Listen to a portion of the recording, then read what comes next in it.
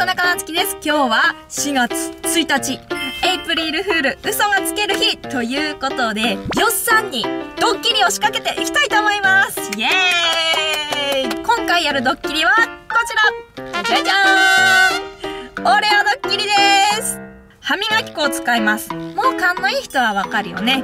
このオレオの白いクリームを全部取り除いて、その代わりにこの歯磨き粉をブシューっと入れて、挟んで、それをよっさんに食わせたいと思います。今日は私がよっさんを懲らしめます。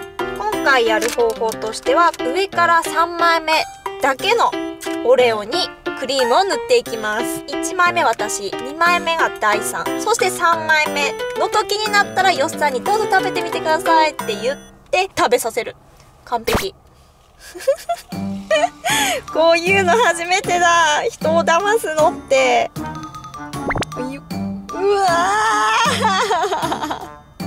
でちょっと伸ばす。はいオレオ歯磨き粉入り完成。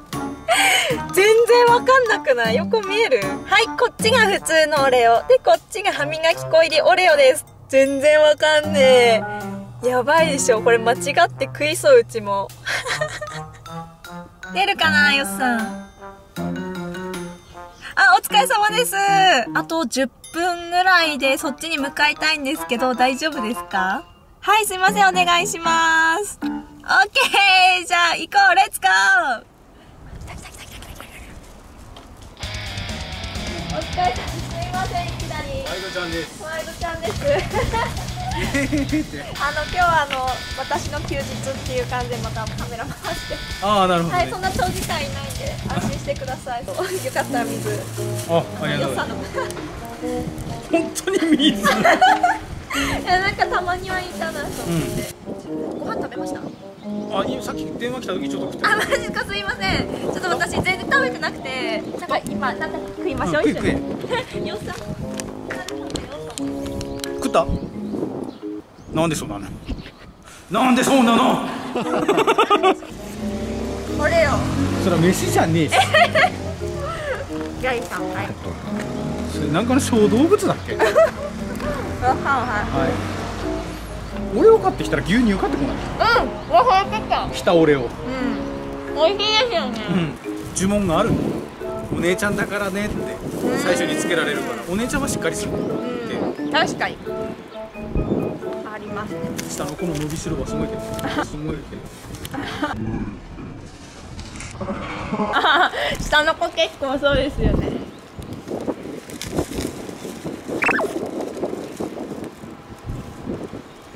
ただのオレあ俺ですよ一番食べる。オ。え、オレオってこんなスースーしたっけ？え、仕込んでない？美味しい。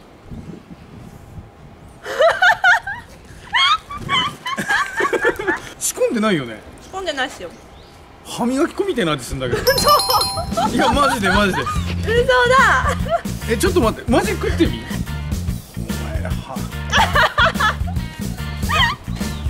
食え。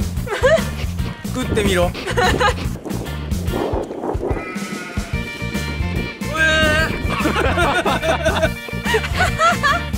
まずめっちゃスースーする。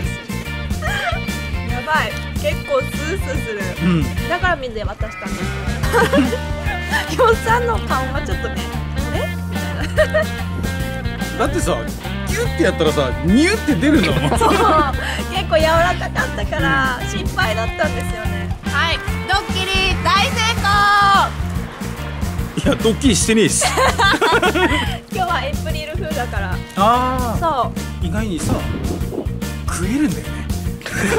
チョチョコミントだと思うとそうそうそうそうそう。意外にね食えるのよ。うん、そんなにまずくはない。まずくはないのよはいということで今日はよっさんにオレオドッキリを仕掛けてみました。うわーやられた。